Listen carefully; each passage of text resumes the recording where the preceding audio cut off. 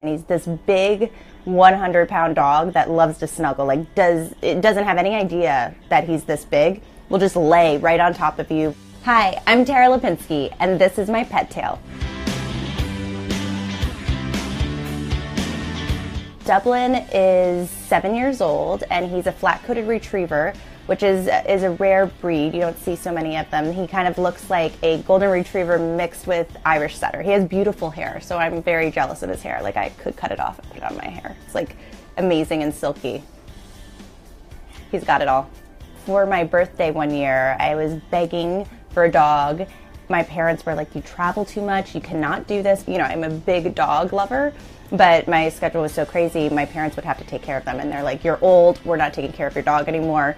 And then um, on my birthday, the doorbell rang and my dad walked in with Dublin, who was this big, wrapped in a little blue blanket.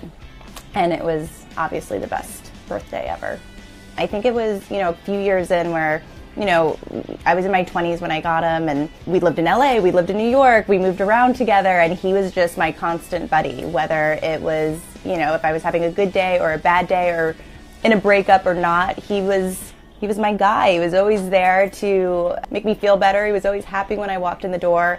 And, you know, going through all those stages of life with him and all of those memories feel so special. And now that um, I'm married, my husband absolutely adores him. So he really is our child. He's, he's a huge part of our life.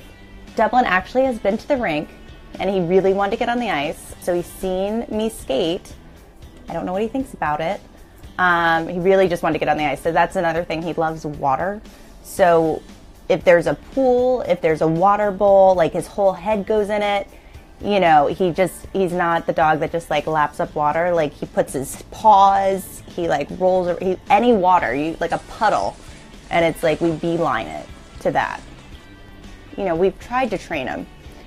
Dublin, get your leash. So he's terrible when it comes to manners. He'll eat off your plate, he'll bark, but he's so adorable and he's so loving. If there's a chair, he'll he'll sit right on top of you and he's so happy all the time. He loves kids, he loves dogs.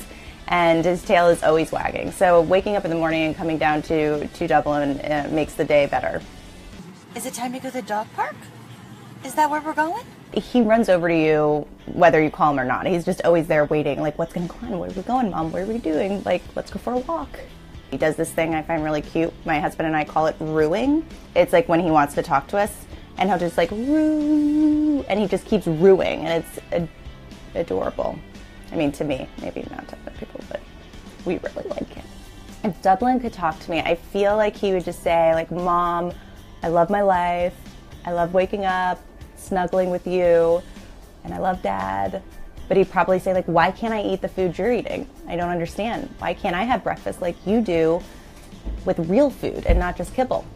Dublin has made my life better for so many reasons. He has such a big personality and always so happy, which makes me happy. How can you not just smile when you look down and your dog is wagging his tail and just happy to be be living his day. Dublin's been through so many phases and changes in my life, and I think dogs just always know when you need that extra snuggle, and he's always been there, and I'll laugh because I'll be having such a bad day, and somehow he's right there, and I almost feel like he's trying to make me feel better. But even getting married, he was in my wedding.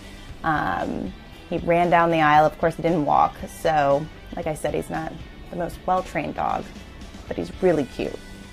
He's part of everything that we do. He travels with us. I can't imagine my schedule without him and coming home to him and seeing him waiting at the door, so happy to see us.